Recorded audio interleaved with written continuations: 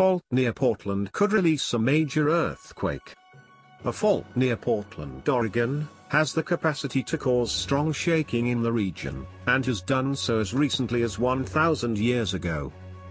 New research into the Gales Creek Fault, which lies 22 miles, 35 kilometers, west of Portland, reveals that earthquakes on the fault have ruptured the surface three times in the last 9,000 years.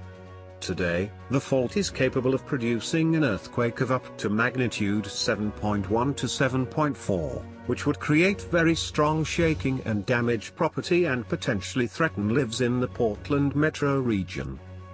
Fortunately, big quakes on the fault are rare, researchers reported October 20 in the Bulletin of the Seismological Society of America.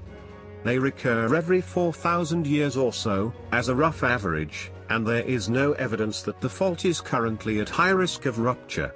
However, the new findings suggest the need to study other nearby faults for signs of relatively recent earthquakes. These investigations could reveal more about the dangers these faults pose to Portland and other populated areas in Oregon. Many faults in the region are of interest based on their proximity to population centers, says Aelios seismologist formerly at Portland State University and now at the Washington State Department of Resources.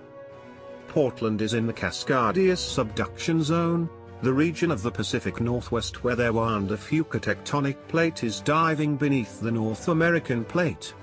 This subduction of the plates gives rise to earthquakes and volcanic activity. Gales Creek is considered a forearc fault, which means it is located in the region between the spot where the plates meet and the volcanic chain link to the subduction zone. It runs 45 miles, 73 kilometers, in a northwesterly direction in a lush, forested area of the Coast Range Mountains north of the Willamette River. The vegetation makes it difficult to see evidence of past earthquakes on the fault.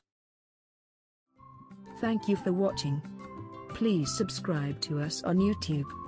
If you like donate to us visit home on the page PayPal.